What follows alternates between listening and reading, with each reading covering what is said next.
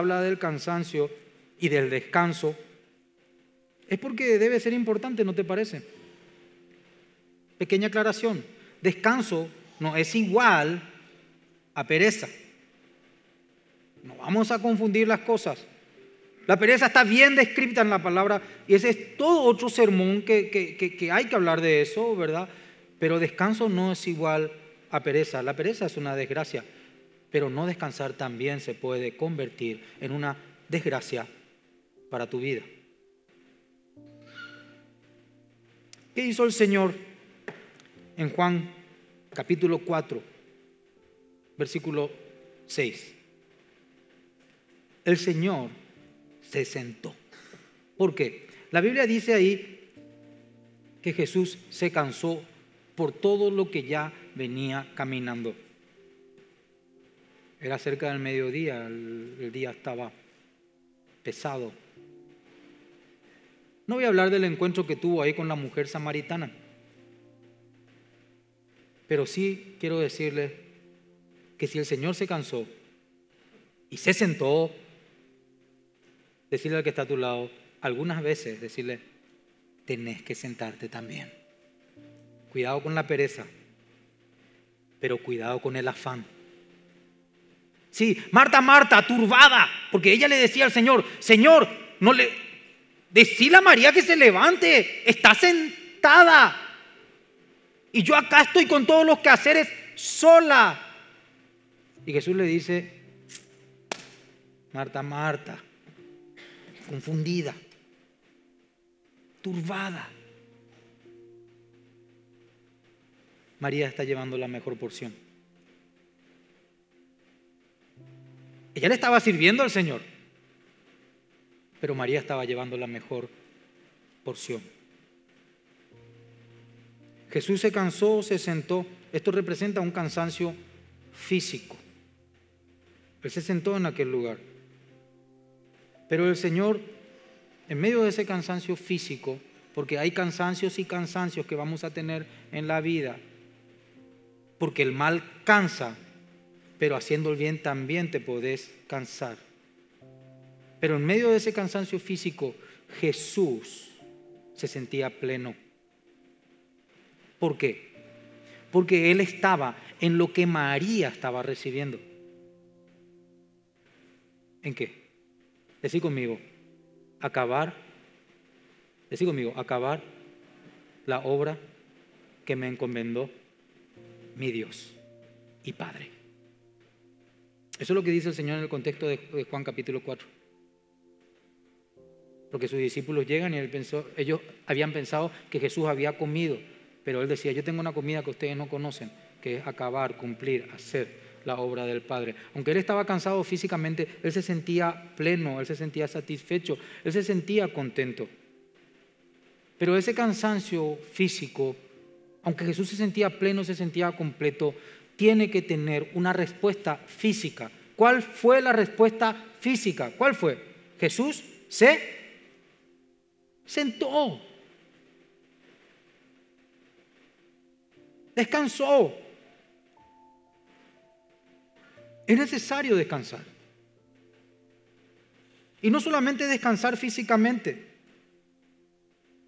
sino también decirle al que está a tu lado o a vos mismo, es necesario decirle, descansar también el corazón.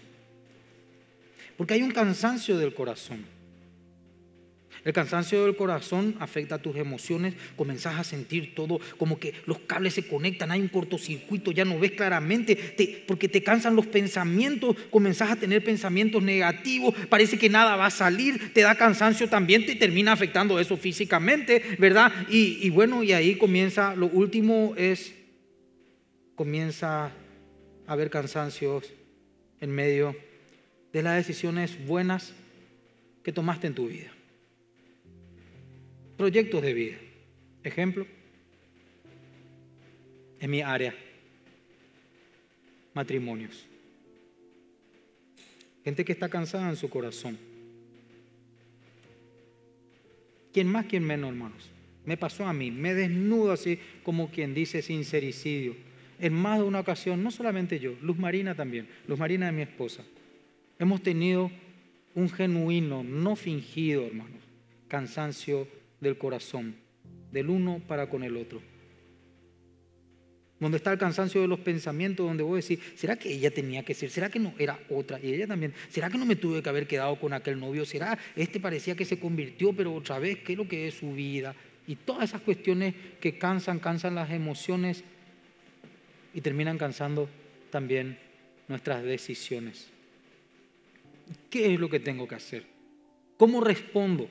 ¿Cómo es que Pepe y Luzma también continuaron y están aquí, hoy son consejeros matrimoniales y confiesan que tuvieron ese tipo de cansancio en medio de sus corazones? La respuesta es una sola, mi hermano, mi hermana. Y yo sé que sabes, es Jesús. Es tan simple y tan profundo, tan cerca y tan lejano tan claro y tan confuso al mismo tiempo. Porque decir Jesús parece que la gente piensa que es una religión, parece que va a venir alguien, te va a poner la mano y va a pasar un tipo, un arte mágico ahí, que boom, va a salir ahí toda tu amargura y, y, va a venir un nuevo tiempo. Dios obra de maneras milagrosas y yo pudiese hablar mucho de eso, pero estoy diciendo, cansancio requiere un factor muy importante, tiempo. Y cuando digo Jesús me refiero a la palabra de Dios trabajando en tiempos sobre tu vida, en medio de esas cuestiones que te tienen agobiado, que te tienen agobiada, en medio de tus cansancios. Nos vamos al ejemplo, nos vamos a la palabra, eh, Evangelio según San Mateo, capítulo 11, versículo 22. En aquel tiempo, dice, respondiendo Jesús, dijo, te alabo Padre, el Señor estaba alabando. ¿Saben por qué? Él decía, Señor del cielo y de la tierra, porque escondiste estas cosas de los sabios y de los entendidos de ese tiempo, la gente que, alegaba ser aquella que es digna de ser escuchada. Y las diste a conocer o las revelaste a los niños. Y no se refería a los niños literalmente, niños de edad biológica sino aquellos que como niños, naciendo de nuevo en la fe, se acercaban a Dios como un corazón de niño confiado hacia un buen papá, una buena mamá. Eso que perdimos entre paréntesis. Nuestros niños, nuestros niños no están tan confiados. ¿Por qué? Porque muchas veces no estamos descansados, estamos agobiados y transmitimos hartazgo y no ejemplos. Entonces, Padre, te alabo porque le revelaste a los niños. Sí, Padre, porque así te agradó. Todas las cosas me fueron entregadas. Y acá él describe qué es lo que está queriendo decir. Por eso no se refiere meramente a un niño, porque la fe es para la gente grande, la que tiene uso de conciencia. ¿La fe en qué sentido? Sos pecador. ¿Qué es pecado? No robes, no mientas, no codicies. Un niño muchas veces no puede tener toda esta interpretación. El adulterio no es solamente el que se consuma físicamente, sino el del corazón. ¿Cómo le enseñas a un niño que todavía no tiene sus hormonas, verdad, fluyendo sobre su cuerpo para poder tener ese tipo de atracción? Y todo aquello que se hizo, que sí podemos hacer los adultos, ya sea físicamente o en el alma, nos entendemos practicándolas y automáticamente nos entendemos necesitando de esto que va a decir, del amor del Padre que el Hijo da a conocer. Y eso un niño no puede entender. Pero comienza la relación de los que descansan, de los que descubren el reposo, el Shabbat espiritual, como la historia de niños, que van a ser enseñados a hablar un nuevo idioma.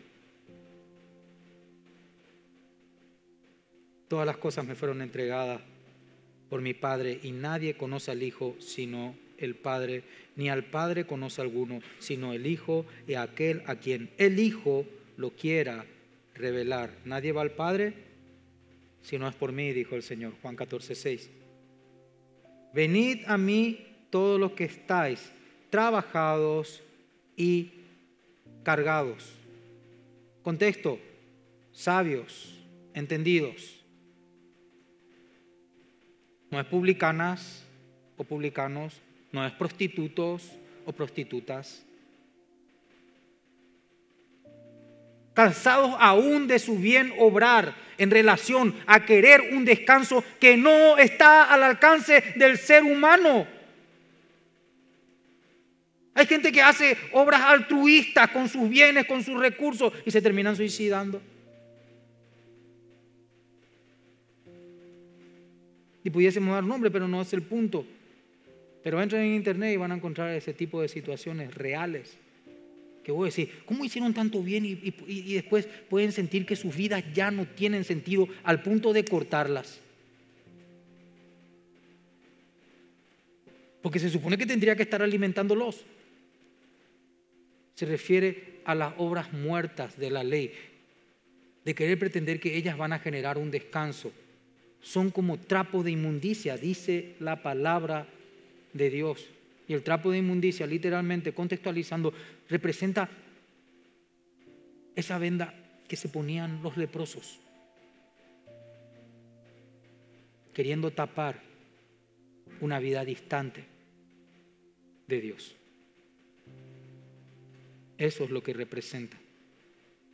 Aunque puedan hablar como entendidos o como sabios.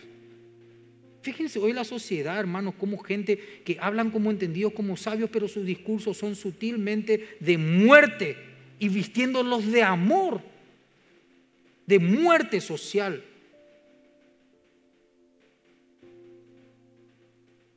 Vengan a mí los que están trabajados y cargados.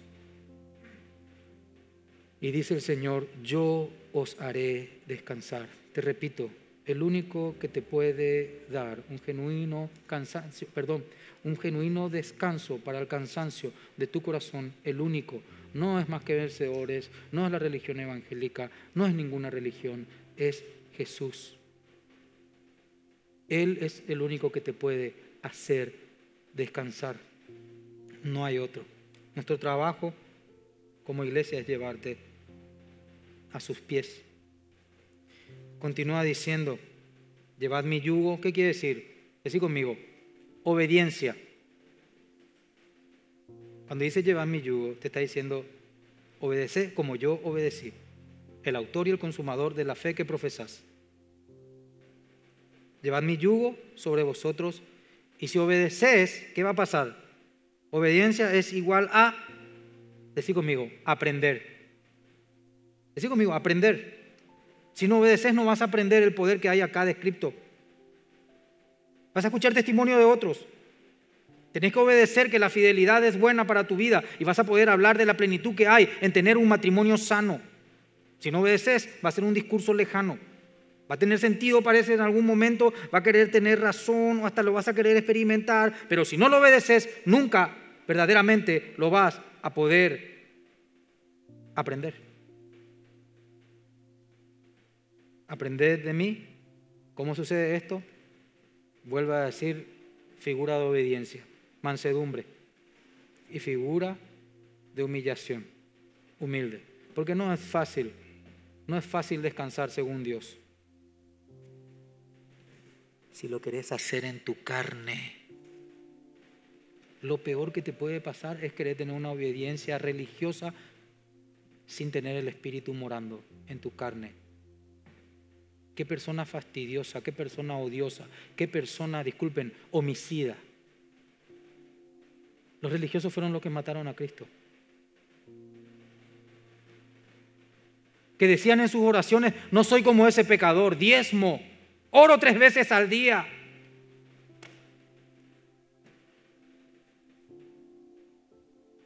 Decir conmigo, obediente y humilde. ¿Para qué? Para que haya descanso en tu alma. Para que haya descanso en tu alma. Lo puedo repetir. Para que haya descanso en tu alma. Pero esto se practica desde el corazón. Manso y humilde de corazón.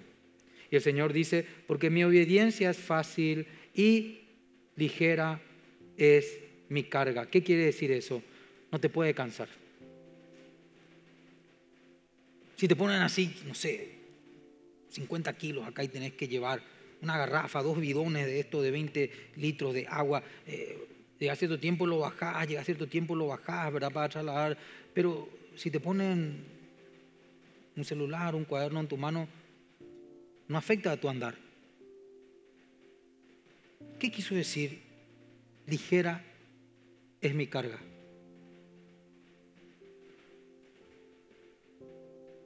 Tu descanso depende de tu corazón, de tu relación con Dios. No de que Luz Marina esté amorosa, no de que Gaby y Rebeca sean las niñas más obedientes, no que en mi trabajo yo tenga el mejor salario, no que mis amigos me estén regalando todo el tiempo. Eso es una vida egocéntrica. Que nunca haya reposo. Porque nunca se satisface. Por eso Jesús estaba pleno y decía, tengo una comida que ustedes no conocen. Cuando estaba cansado físicamente. Pero suplido en el Padre, porque dijo, cumplir lo que me encomendó el Padre. Eso es lo que al Señor le tenía descansado. Todo verdadero descanso del corazón solamente puede provenir del Señor. La ley dice, ahí en Éxodo 34, 21 dice, seis días trabajarás, mas el séptimo día descansarás. Hay un principio espiritual ahí. Hay una gloria para identificar al Mesías en el día de su sacrificio y en su señorío. Te repito, en su señorío. Jesús es nuestro reposo.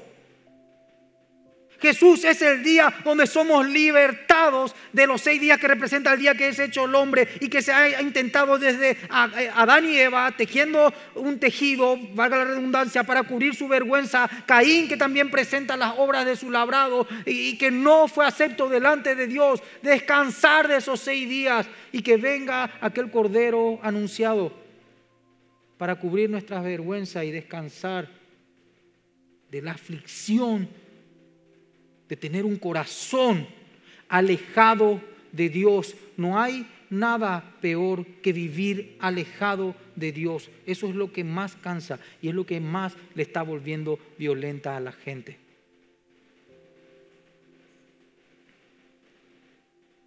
¿Y saben qué es lo más triste? Cuando se vive con un corazón alejado de Dios sin descansar dentro de una estructura religiosa. Esa es la gente más peligrosa.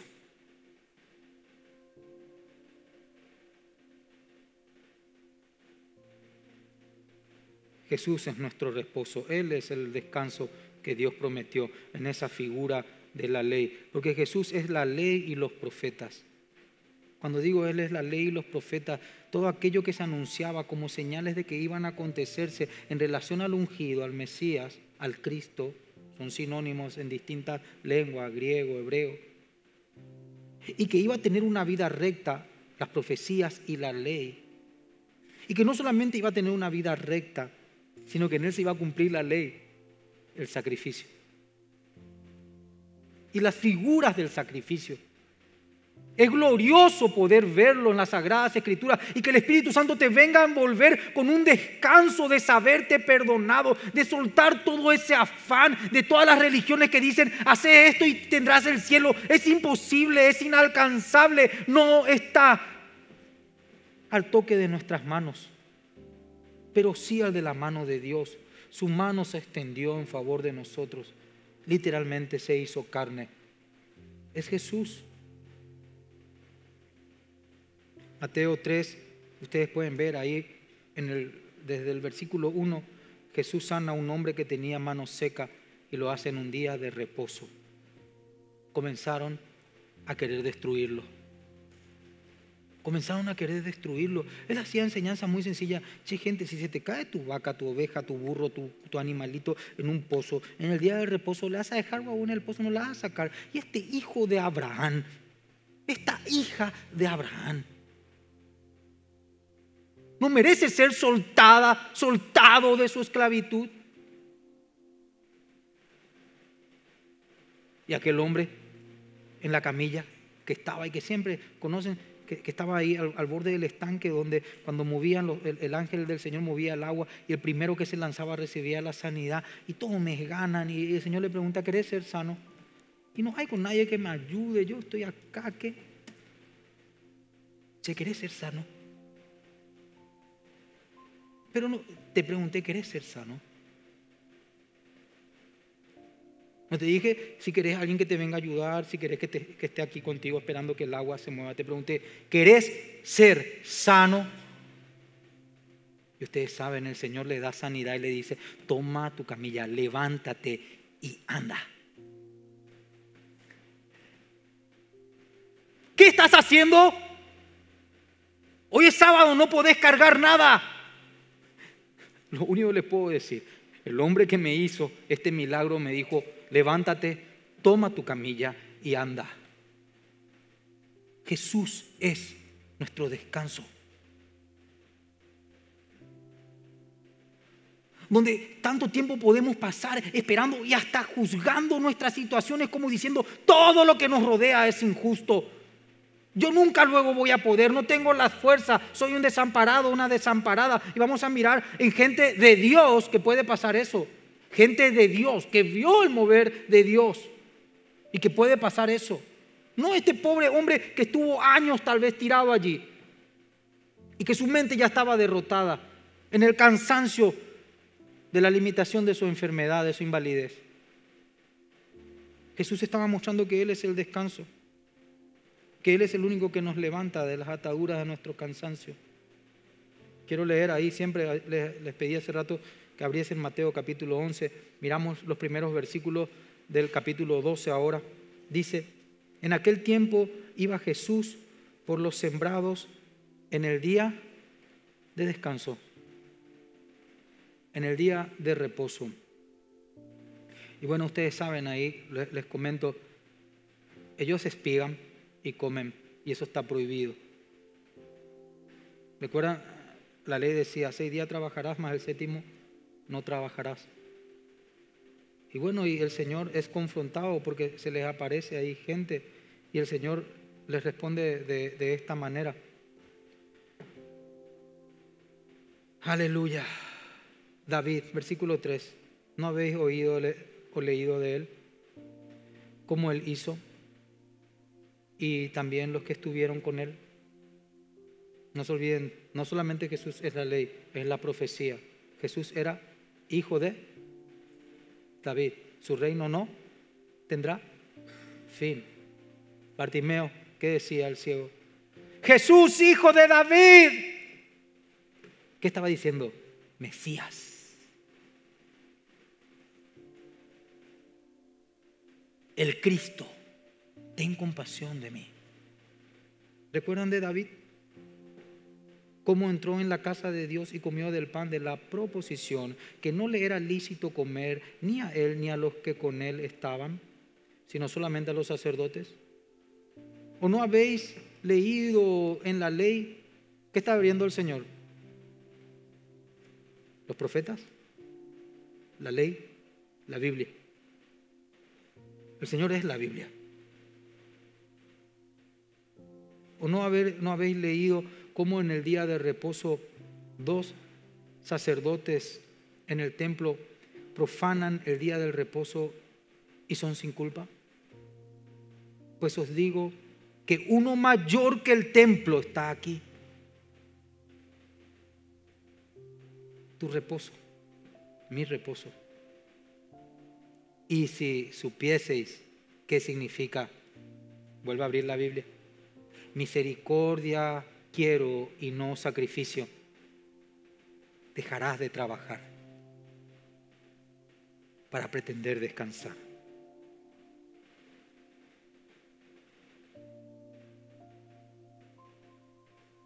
No condenarías a los inocentes, porque el Hijo, versículo 8, el Hijo del Hombre es Señor del día de reposo. ¿Cómo el Señor nos da descanso? Primer punto, quiero que entiendas esto, pero de una manera sublime y, que no haya duda en tu corazón. El Señor te da descanso alimentándote correctamente. tenés que comer correctamente. Si solamente alimentas tu corazón, tu mente con series que tenés que adelantar porque tienen partes obscenas que prácticamente son actos pornográficos, y si no estás adelantando, te cuento que es como fumar o drogarte. Así te vas a esclavizar, así te vas a contaminar, así vas a generar dependencia, así como la droga literalmente te puede matar. ¿Con qué literatura estás enriqueciendo tu alma, tu intelecto, tus tomas de decisión, de decisiones? Alimentarte correctamente es fundamental para el descanso físico, pero también lo que estoy buscando hoy poder transmitirles para el descanso de tu corazón. Me encanta este salmo. Seguro que cuando lo digan, ¡pum!, ya te va a venir la porción que tal vez es también la que yo estoy queriendo compartir contigo. Salmos 23. Jehová es mi pastor, nada me faltará. En lugares de delicados pastos, ¿qué está diciendo ahí? Comida. Si vos no tenés una vida de lectura bíblica, si vos no tenés una vida de devoción hacia la palabra de Dios, nunca es imposible tener una vida de adoración, de una adoración espiritual. Puedes tener adoración, pero tu adoración va a ser vana, vas a ir de una manera incorrecta. Por eso Dios está, está buscando, digo bien, gente que la adore en espíritu y en verdad. De la mano del Espíritu Santo, pero conforme a la inspiración, que es la hoja de ruta para que nuestro corazón haya el verdadero descanso. Para que no estemos afanados por todo eso que le cansa a la gente. Vuelvo a decir, para tener un buen descanso físico, tenés que tener también una buena alimentación. Si sos un atleta, tenés mucho desgaste y tu alimentación no acompaña, tu rendimiento va a ir en declive. Es así. Estaba leyendo que Lionel Messi ahora con la edad que él está alcanzando, porque para el fútbol, aunque es un hombre joven, ¿verdad? Para el fútbol ya tiene una edad, una edad donde el cuerpo comienza a tener un declive. Entonces él cambió toda su dieta, hermano. Todo un equipo de científicos están ahí detrás de la dieta de este deportista que cuesta miles de dólares cada minuto que está sobre el campo de juego. Decir conmigo, alimentación. Si no corres la carrera lícitamente, dice el Señor, si no competís como las leyes dicen, dice el Señor por medio de Pablo cuando le escribe la carta a Timoteo, haciendo la analogía entre el deporte, serás descalificado no hay trampas con el Señor. Pastos, Biblia. Así es. Si no hay Biblia en tu corazón, tu descanso, tu paz es falsa. Es arena. Y las situaciones propias de la vida lo va a desnudar. El Señor es mi pastor, nada me faltará. En lugares de delicados pastos me hará descansar. Junto a aguas de reposo ven sustento, Él me pastoreará. Su palabra, las aguas, los ríos de vida que deben de fluir desde nuestro interior, son nuestro reposo. Cristo, nuestro pastor, es nuestro reposo. Decir conmigo, para tener descanso, comer correctamente. Seguro. Desayunaron, almorzaron, seguramente se van a ir a cenar. Algunos tienen media mañana, tienen media merienda, media tarde, tienen entremesa, tienen bocadito, tienen, y verá, y se ve el resultado, son bien fornidos. ¿Verdad? Según el desempeño, así la alimentación. Repito, según el desempeño, así la alimentación. Cuando me tocó trabajar en albañilería, hermanos, literalmente comíamos fritura así, no sé si eso me pasó un poquito a la factura, pero hermano, en, un ratito tenés hambre otra vez, que más todo, que más todo, así los muchachos que trabajaban ahí eran todos fibrosos, eh, parecían luchadores de MMA, porque es un trabajo que te esfuerza físicamente y que demanda mucha energía. Y esa energía va en la grasa. Y esa grasa se consume y se gasta después ahí en el trajín de la jornada laboral. Era necesario comer así. ¿Cómo pretendes caminar con Cristo sin el pasto, sin la palabra, sin tu obediencia? ¿O será que la carga te parece pesada? Porque Él dijo, mi yugo es fácil, ligera es mi carga. Para un buen descanso, una buena alimentación. Primer punto. Segundo punto, para un buen descanso, tienes que quitar el temor de tu corazón. No puedes vivir en esclavitud todos estos temores que a la gente le tiene agobiada, digo, el trabajo, ¿será que, eh, ¿será que el trabajo se va a cerrar? ¿Será que mi pareja me va a dejar? ¿Será que mis amigos me van a rechazar? ¿Será que mi negocio no va a salir? ¿Será que mi salud se va a empeorar? ¿Será, será, será? Y todos esos temores y terminamos somatizando, terminamos dejar de ser, de ser, de ser atractivos porque estamos todos llenos de temor en el trabajo, ni siquiera transmitimos confianza en ningún tipo de relación eh, emocional y la gente también ya comienza a dudar, pero somos más nosotros el problema que lo que nos rodea.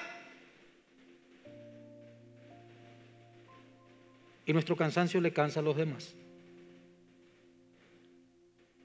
Un buen descanso es echar fuera el temor. El perfecto amor, recuerdan Juan, el discípulo amado. Entre paréntesis, ustedes saben que Juan nomás decía por él que es el discípulo amado. Porque en el único evangélico, en el evangelio digo que vas a encontrar que dice por Juan el discípulo amado, en el evangelio de Juan. Él nomás diga. Pero es fantástico cuando, fantástico digo cuando él dice, el perfecto amor, nuestro descanso, echa fuera todo temor. Un tipo que estuvo preso, que cuentan lo, bueno, las, no, está en la Biblia, pero la tradición y, casi, casi es como algo que se toma de manera muy certera, que fue quemado en aceite hirviente y que por designio del Señor, algunos toman que fue hasta la conversación que tuvo ahí previa con Pedro cuando le decía, y este le preguntó Pedro por Juan. El Señor le estaba restaurando a Pedro, ¿verdad? Me ama, sí, te amo, te amas la tercera vez llorando así. Y después nomás Pedro, colérico, era Pedro, hermano, decía, y este que está acá, porque Juan estaba y el discípulo amado, como que mucho con Pedro, conmigo también, Señor Jesús, vos sos mi reposo, sos mi descanso. Y cuando Pedro le pregunta por Juan, le dice, ¿y si yo quiero que viva para siempre? ¿Qué? ¿Te importa? Tú, sígueme. Capítulo 21 del Evangelio de Juan. Pero no estaba diciendo que iba a vivir para siempre, porque está establecido que el hombre muera una vez y después un juicio. Pero lo que nos sostiene es el día también del encuentro con el Señor, donde sabemos que nos vamos a levantar. Pero es el único entre todos los apóstoles que no conoció martirio, que murió de viejo. Pero no fue fácil. No fue fácil. El perfecto amor en Señor echa fuera todo temor. Pero sus ojos naturales, ¿qué dicen? Jacobo le cortaron el cuello, a Esteban la apedrearon y ahí podemos volver a tomar. Y hasta escuchó lo que le anunciaba a Pedro. Ahora Pedro tú te ciñes, pero vendrá un tiempo donde otro te ceñirá y te llevarán donde tú no quieres, anunciándole con qué muerte habría de glorificar al Señor. Y se entera que Pedro fue muerto crucificado de cabeza. ¿Sus ojos qué dicen? Miedo. ¿Pero qué él escribe? Su corazón confiado en Cristo, ¿qué escribe? ¿Qué estás escribiendo? El perfecto amor echa fuera todo temor. Si estás en temor es porque estás en desobediencia a la palabra. Porque te querés enamorar de una manera desordenada. Porque querés ganar dinero de una manera que no te es lícita. No descansás en Cristo. Mi yugo es fácil y ligera es mi carga. Eso es lo que dice la palabra. Eso es lo que nos enseña el Espíritu de Dios a través de las sagradas escrituras. Dice ahí la bendita palabra de Dios, le leo este pasaje hermoso, Jeremías 30, 10, dice, tú pues, siervo mío Jacob, y ahí puedes poner tu nombre. Tú pues, siervo mío Vicente, lo personifico, no temas, te dice el Señor, ni te atemorices porque he aquí que yo soy el que te salvo de lejos a ti y a tu descendencia de la tierra de la esclavitud. ¿Qué quiere decir? No te voy a dejar en ese pecado, mi hijo, mi hija. No te voy a dejar atrapado ahí. Es un acto invisible, como alguien que parece que no está, que está lejos, pero no te voy a dejar ahí ni a vos, ni a tu casa. Pero continúa diciendo, descansarás, vivirás tranquilo y no habrá quien te espante. Decí conmigo, no habrá quien te espante, vivirás tranquilo, descansarás. Y sí, porque Jesús es mi reposo es nuestro descanso. Entonces, tenés que alimentarte de la Biblia para tener un verdadero descanso del corazón. ¿Sí? Tenés que expulsar los temores. ¿Qué quiere decir eso? Poner los ojos más en las cosas de la tierra que en las cosas de Dios. Así de sencillo. Y si no lees la Biblia, ¿cómo vas a tener fe de que hay algo que te espera verdaderamente pleno? ¿Y cómo vas a traer eso que ya fuiste, que ya, fuiste impartido, que ya te pertenece que ya formas parte de aquello, que es hacia donde vas, que es lo eterno, si no, vuelvo otra vez al alimento, si no lees la Biblia, es imposible. Es como una ecuación, es una causa que produce un efecto, que la podemos ver muy claramente en Romanos 10, 17. La fe viene, creer, el alimento, por el oír, y el oír de la palabra de Dios. Entonces, alimentarte correctamente, quitar el temor, y por último, literalmente, para descansar, decirle, para descansar, decirle que está a tu lado, tenés que descansar. Argelia era, pero me encanta hacer eso. Riancena por lo menos, ya, ya vamos. Para descansar tenés que descansar. Literalmente, ¿qué hizo Jesús? Se sentó. Literalmente, ¿qué tenés que hacer a la noche? Tenés que dormir. ¿Y por qué recalco el tema noche? Porque hay momentos que son oscuros, que son oscuros en la vida. Y que son los momentos donde tenés que literalmente recostar tu bendita cabecita en tu almohadita. La noche, decirle que está a tu lado, la noche es para dormir. No seas zombie. Sí, la noche es para dormir. El día para actuar. Jesús es nuestro día y Él es nuestro descanso. Gran siete hermanos, se está hundiendo la barca. ¿Esto qué es lo que le pasa? Duerme, duerme. Despiértenle. ¿Cómo podía dormir en medio de una tempestad? Decirle que está a tu lado, se puede. Y te conviene. Hermano, ustedes vieron la psicología que lo practica, hermano. No estoy, no le estoy poniendo, ojo, no le estoy poniendo a, la ciencia a la altura de la palabra, porque la ciencia es una figura del favor de Dios también. Dios es el dador de toda ciencia. Pero vean, vean la psiquiatría cómo practica, se llama, escuchaban hablar seguro, cura de sueño.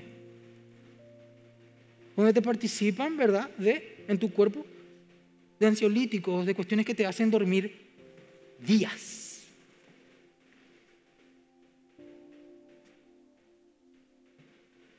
Para descansar necesitas dormir de noche. Isaías 57.2. Entrará en la paz, descansará en sus lechos.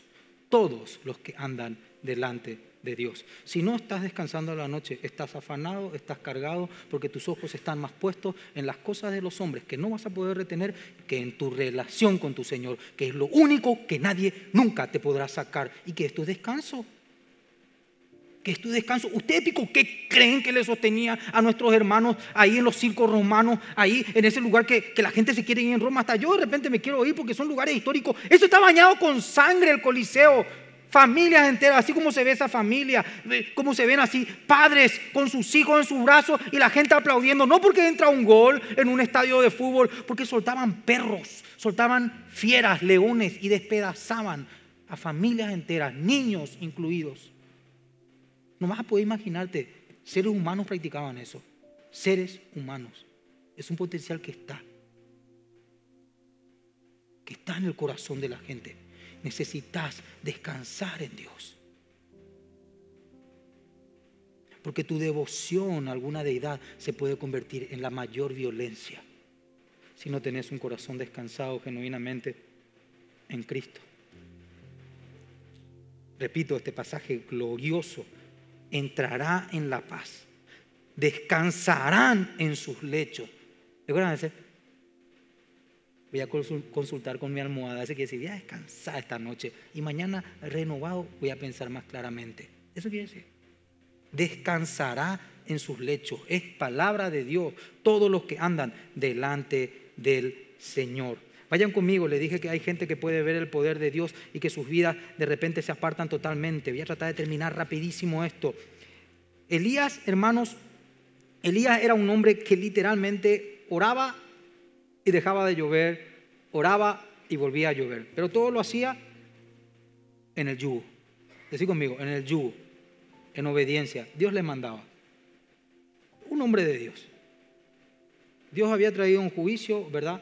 Va a ser largo para que pueda explicar todo esto, ¿verdad? Se había separado de los hijos de Salomón, un juicio por idolatría. Salomón tuvo muchas mujeres. Salomón comenzó a levantar dioses, a, las deidades falsas, dioses con minúsculas, de aquellas mujeres con las cuales él compartió su intimidad, su corazón, ¿verdad? Y bueno, y Dios le dijo, se armó la podrida, se va a dividir el reino por tu pecado.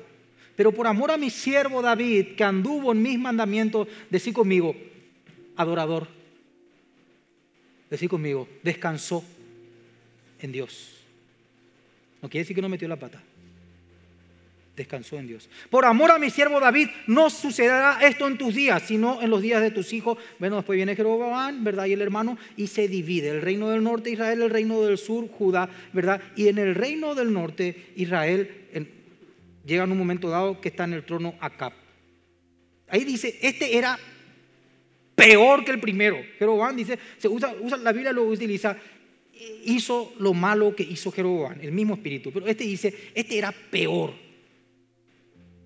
Este, decir conmigo, se casó con Jezabel. Jezabel representa el paganismo, representa la idolatría, la dependencia del corazón hacia las cosas de los hombres. Toda la idolatría de los pueblos que rodeaban a Israel representaban una dependencia de las cosas que no podés retener ni te pueden hacer descansar jamás. Y bueno, Jezabel representaba eso y ahí ustedes pueden ver, hay tantos principios espirituales, pero lo que yo quiero rescatar, ¿verdad? Eh, se sucede esto, me voy al capítulo 18, ¿verdad? Quiero acá, cuidado con esto, versículo 21, dice, acercándose Elías capítulo 18, Primera de Reyes, disculpen, no le dije el pasaje, acercándose Elías a todo el pueblo, dijo, ¿hasta cuándo claudicaréis vosotros entre dos pensamientos? ¿Recuerdan Santiago, el hombre inconstante en su camino? No pretenda recibir algo de parte de Dios. Estoy con Dios. Hoy no estoy con Dios. Estoy con Dios.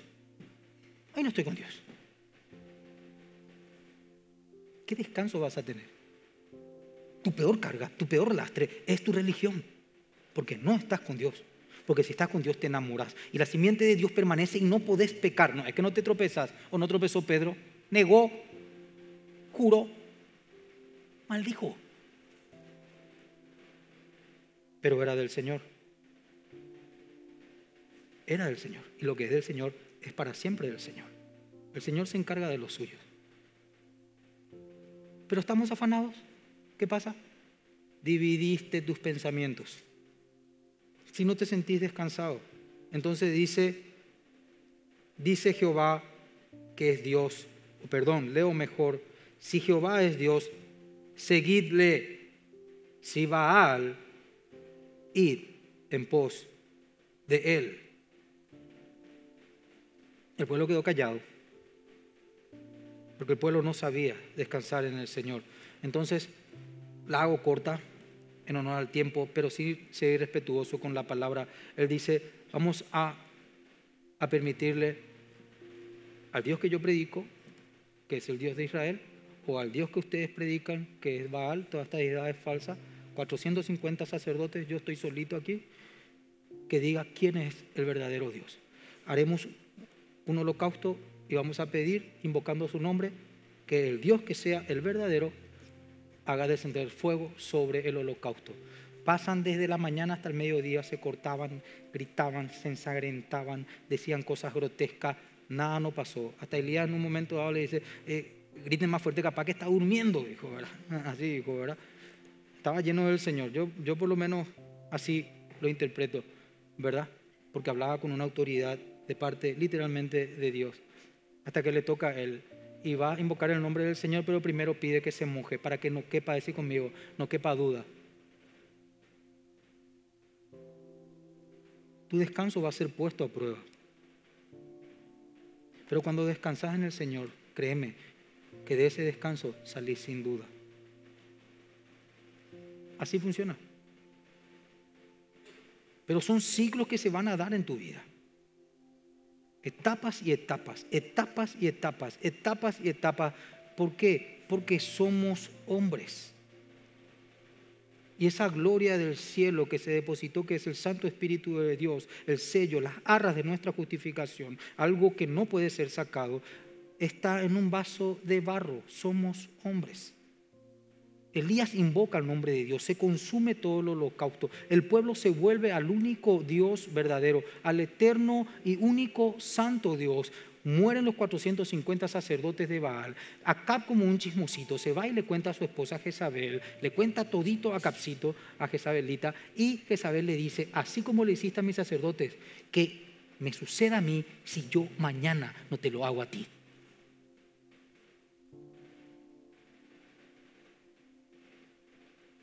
Gente, no va a llover tres años y medio.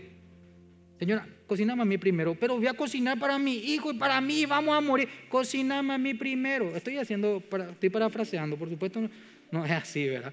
Es que nadie se me tropieza ahí lo que está viendo en internet, ¿verdad? A mí primero le dicen, o por lo menos, hazlo a mí primero, ¿verdad? Así para que parezca más espiritual el profeta Elías en la casa de la viuda de Sarepta. No va a cesar la harina en la vasija, ni el aceite.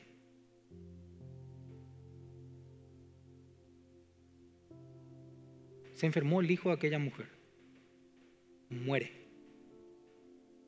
Tres veces, Señor, ¿por qué pico le hiciste esto a esta pobre mujer? Encima me está dando comer, me reciben todo este problema. Dale vida, Señor, dale vida, Señor, dale vida. Mira, acá está tu hijo con vida. Ahora sé que eres hombre de Dios. Lo, cuento así hasta parece jocoso, no te vas a poder imaginar el nivel de comunión.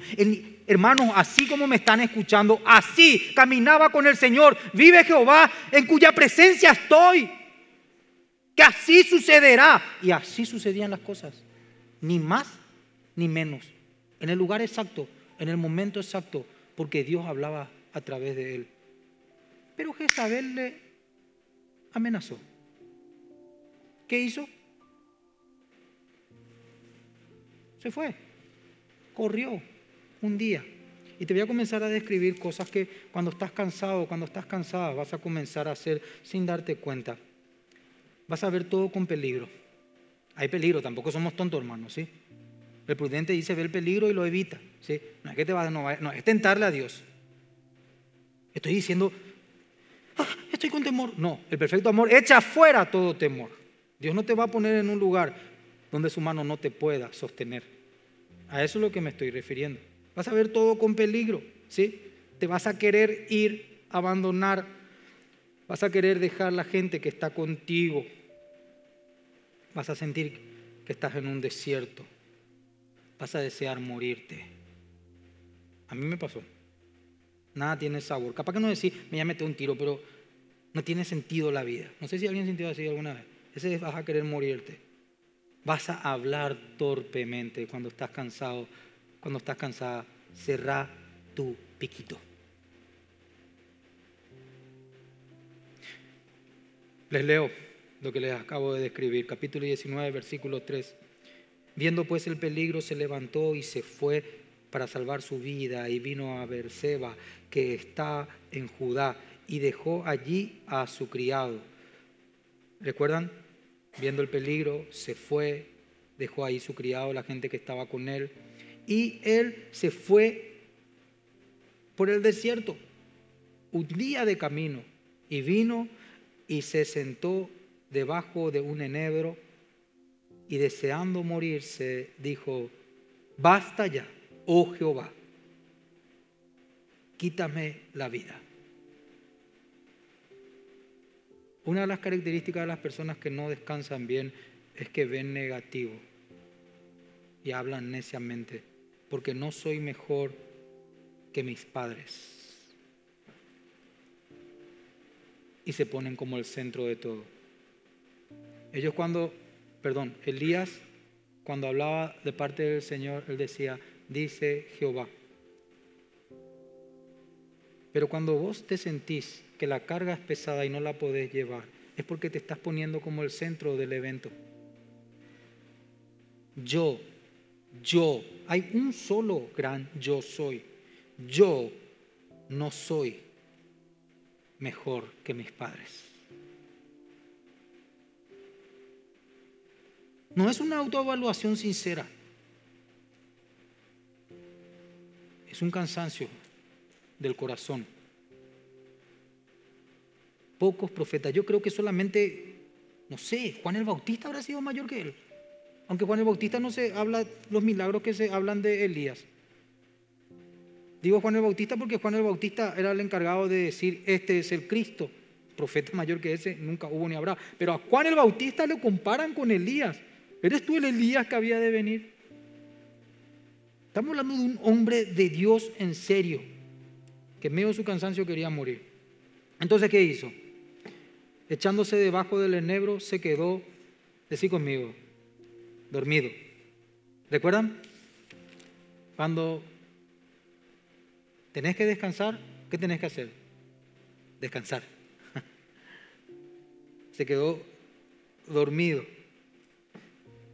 Y aquí un ángel del Señor vino y lo tocó. Recosta tu cabeza. Confía en el Señor. Fuera temor. Y come bien. El ángel del Señor que le trajo, cuando estaba dormido, le dijo, levántate y come. Versículo 6. Entonces él miró y he aquí en su cabecera una torta cocida sobre las ascuas y una vasija de agua. Y comió y bebió y volvió a dormir. Cuando estás cansado tenés que descansar, no te hace menos. Volvió a dormir, no es que levántese, no, no, no, volvió a dormir, le dejó. Dios no te va a pedir algo que esté más allá de tus fuerzas. Cuando vos te sentís que estás más allá de tus fuerzas, posiblemente estás haciendo algo que Dios no te mandó.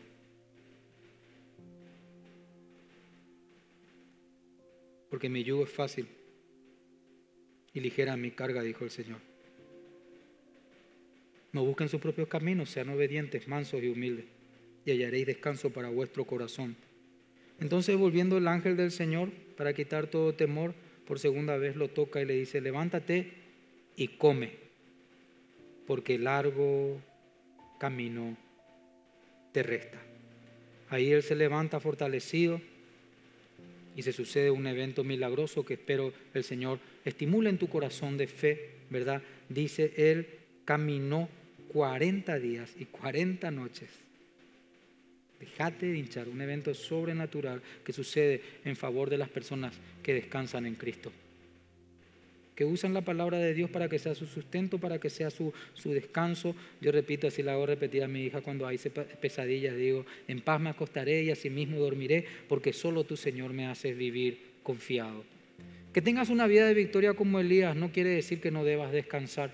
No quiere decir eso. El rey Saúl en un momento dado, en una victoria que se estaba dando en favor de Israel, él dijo, el que no come, no, bajo maldición, hermanos, pueden encontrar eso en el primer libro de Samuel, capítulo 14, bajo maldición, el que come va a morir si no le terminamos primero a los enemigos y después recién van a comer. El Señor estaba dando victoria por mano de su hijo, Jonatán, ustedes pueden ver eso ahí en la Biblia, y Jonatán come. El que no el que te prive de descansar no te garantiza una victoria. Tu victoria está garantizada solamente en el Señor. Hechos 23, 22 dice, venido el día, algunos de los judíos tomaron un complot y se juramentaron bajo maldición diciendo no que no comerían ni beberían nada hasta que hubiesen dado muerte a Pablo. ¿Lo consiguieron? No. No es que Pablo no iba a morir por el Señor. El sacrificio de falta de descanso, de falta de alimentación, no es garantía de victoria. El ayuno no te da una oración respondida. Tu descanso en Cristo te da una oración respondida. Tu ayuno tiene que ser un descanso en Cristo, una búsqueda de su voluntad para que en mansedumbre entres en obediencia y puedas ver su poder cumpliéndose en medio de lo que Él planificó de antemano para tu vida. Uno está aquí al azar. Hay horas establecidas de antemano para que las tengas que transitar, según Efesios 2.10. El caballo se alista para la batalla, mas la victoria la da el Señor. Descansar en Dios significa esfuerzo. Parece una paradoja, ¿verdad? Descansar en el Señor significa esfuerzo dependiente. El caballo se alista para la batalla, mas Jehová es el que da la victoria. O pudiésemos decir de otra manera, descansar en el Señor significa esfuerzo obediente, porque mi yugo es fácil y ligera mi carga. Aprendan de mí, que soy manso y humilde de corazón, y hallaréis descanso para vuestras almas, dice el Señor. ¿Descansar en la palabra? ¿Sí? Descansar físicamente. Alimentate de la palabra. Alimentate físicamente. Recosta tu cabeza en tu almohada. Dormí de noche. El Señor se va a glorificar en tu vida en los días que Él te toma de la mano. Créelo, por favor.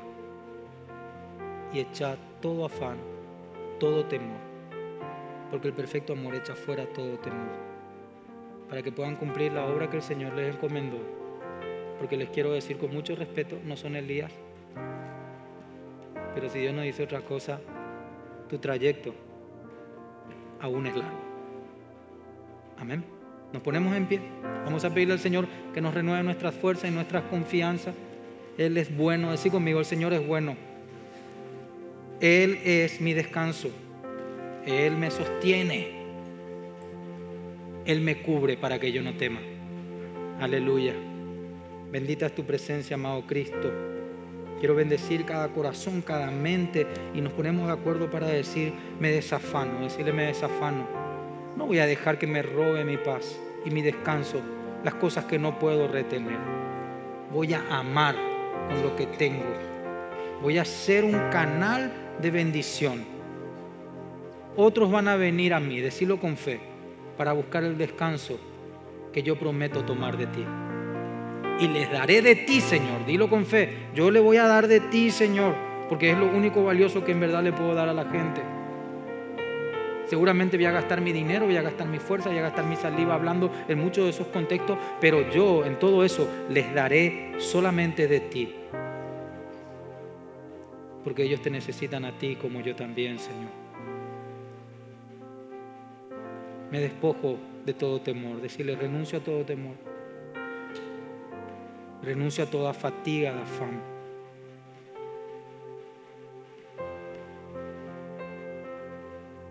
Descanso en ti, Señor.